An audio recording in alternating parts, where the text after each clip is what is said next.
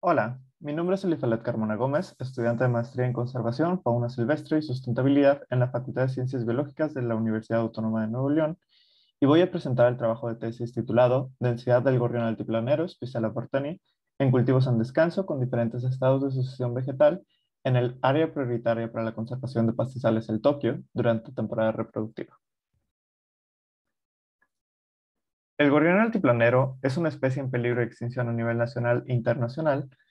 con un máximo estimado de mil individuos, endémica del altiplano mexicano, cuya distribución se limita a la región donde se unen los estados de Nuevo León, Coahuila, Zacatecas y San Luis Potosí.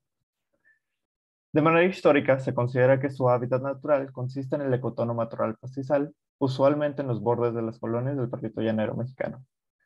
Sin embargo, en los últimos años hemos localizado nidos de Spicella vorteni no solo en el hábitat de matorral pastizal, sino también dentro del paisaje agrícola, haciendo uso tanto de arbustos dispersos en el paisaje como de herbáceos que crecen en cultivos abandonados.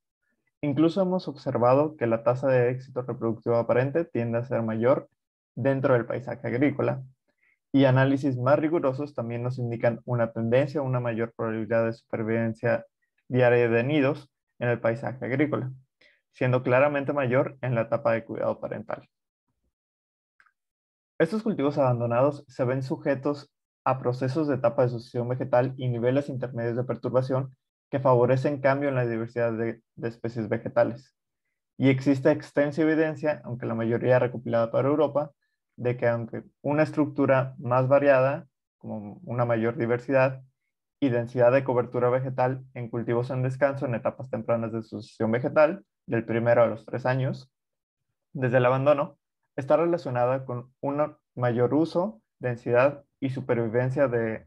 de especies de aves especialistas de pastizal en comparación con pastizales poco perturbados y cultivos activos, presuntamente debido a la mayor disponibilidad de recursos alimenticios y de sitios de ocultamiento útiles para descansar y anidar que provee la vegetación. Bajo este contexto, buscamos asociar la densidad del gorrión altiplanero durante su etapa reproductiva con características estructurales de diferentes estados de sucesión vegetal en cultivos en descanso, cultivos activos y hábitats de matorral pastizal. Para esto recorrimos 104 trayectos de 200 metros de largo en hábitats de matorral pastizal, cultivos activos y cultivos con diferentes intervalos de edad desde su abandono, siguiendo un criterio de homogeneidad de hábitat dentro de cada trayecto. Realizamos estos trayectos en dos veranos del 2020 y 2021. Y eh, también realizamos muestros de distancia de todas las especies de aves observadas en cada trayecto, registrando su distancia perpendicular con respecto al trayecto. Para la caracterización de la vegetación, realizamos parcelas de 5 metros de radio en las que estimamos la cobertura de pastos y altura promedio de los mismos, eh, de herbáceas y de arbustos, además de identificar los tres taxones de cada estrato. Eh, establecimos estas parcelas eh, cada 100 metros sobre el trayecto. Además, realizamos conteos rápidos de invertebrados dentro de cuadrantes de un metro cuadrado ubicados al inicio, la mitad y al final de cada trayecto, registrando el número de invertebrados e identificando su orden antes y durante una caracterización más detallada de la vegetación. Estimamos la densidad del gorrión altiplanero mediante modelos que consideran como covariables la edad de abandono, valores medios de cobertura de los, todos los estratos, eh, valores medios de altura también de todos los estratos y la densidad de invertebrados en cada trayecto.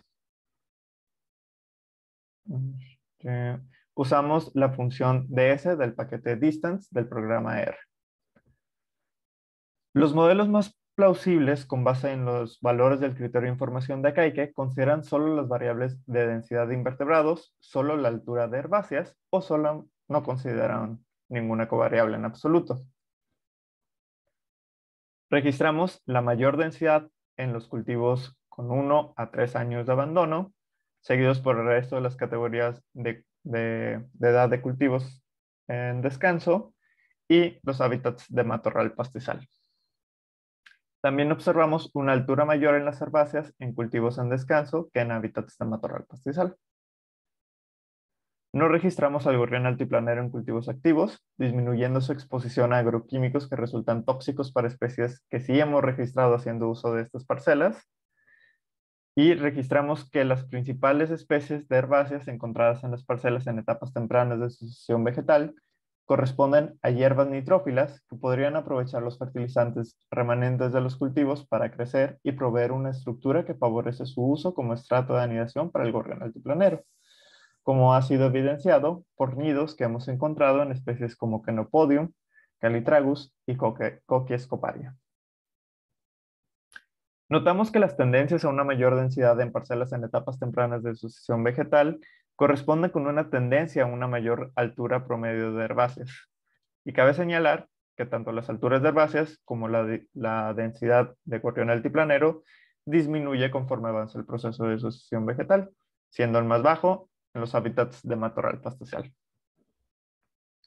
Estos resultados indican la importancia de asegurar la disponibilidad de parcelas de 1 a 3 años en abandono en particular para el beneficio del gorrión altiplanero, sin embargo, también es importante evaluar su potencial como trampa ecológica al poder exponer a esta especie a agroquímicos y depredadores en detrimento de su, de su eficacia biológica. De esto podríamos tener evidencia eh, con estudios de supervivencia que hemos realizado después de la temporada reproductiva, en la que hemos observado que es mayor la, eh, la depredación aparente en el paisaje de hábitats de, matorral pastizal que en el paisaje agrícola, lo cual es inverso a la probabilidad de supervivencia o al éxito reproductivo aparente durante la etapa de, anidamiento.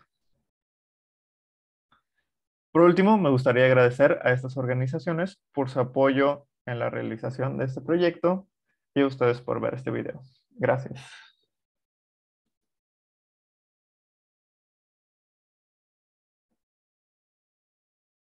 Mm,